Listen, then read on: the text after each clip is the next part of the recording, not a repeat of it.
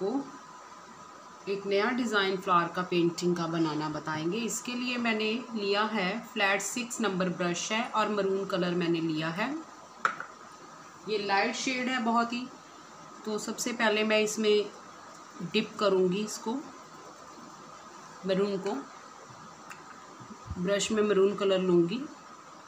Colour को पतला रखेंगे, थिन रखेंगे। और मैं ऐसे एक फ्लावर का डिज़ाइन रफली सा बनाऊँगी। ठीक है? ये देखिए। ये बहुत ही प्यारा बनता है फ्लावर।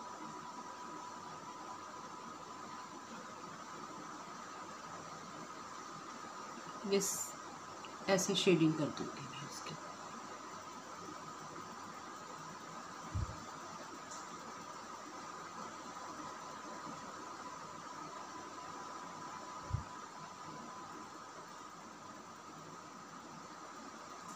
ऐसे करके मैं छोड़ दूँगी इसे।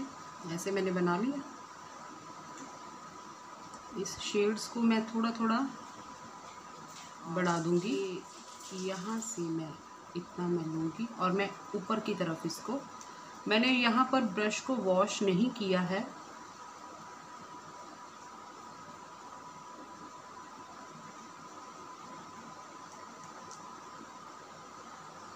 ये अपने आप ही इसका इफ़ेक्ट आता जाएगा।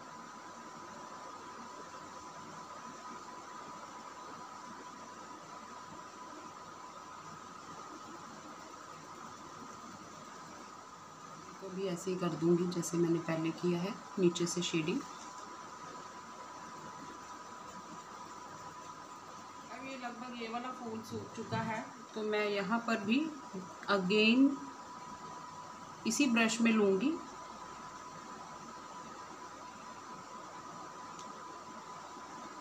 यहाँ पर नीचे की तरफ़ पैटर्न बना और यहाँ पर मैं एक दो पेटल जो हैं, वो इधर की तरफ़ गिरे हुए भी बना इधर साइड की तरफ़। ठीक है।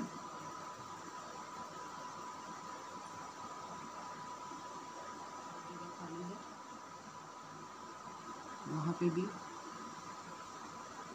ये जगह। ये मैं ग्रीन कलर लिया है इसी राउंड ब्रश में। और जहाँ जहाँ हमने लीव्स बनाने हैं, जैसे हमने दो लीव्स ऐसे पहले कर लीजिए। ठीक है? अब मैंने इसको ब्रश को थोड़ा सा पानी में कर लिया है। और एक तरफ़ मैंने ये कलर कर लिया हुआ है। बस दूसरी तरफ़ से हम ब्राउन कर लेंगे। आप चाहें तो इसे मिक्स कर दें। सा कलर ही लूँगी। और ये जो मैंने बनाए थे ना पेटल्स बीच में उसको पहले ओके करेंगे हम। बीच में ऐसे दे दिया।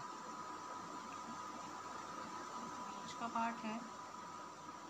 इसमें से येलो से ही लाइन निकाल देंगे। बस ऐसे। वाइट से।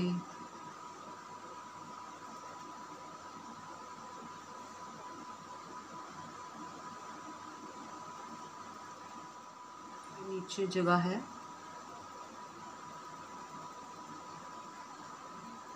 कहीं पर मैं येलो ये जैसे ये जगह है यहाँ पर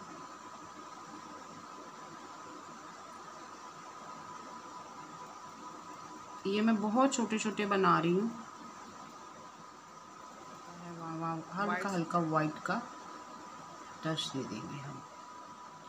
ये बहुत ही प्यारा फ्लावर बन के रेडी हुआ है। ये थोड़ा ऊपर की तरफ़ जाएगा। ये सेंटर फ्लावर है शर्ट का तो ऊपर की तरफ़ भी बनेगा और बहुत ही प्यारा सेट होता है और बहुत ही ईजी है। Friends please thanks for watching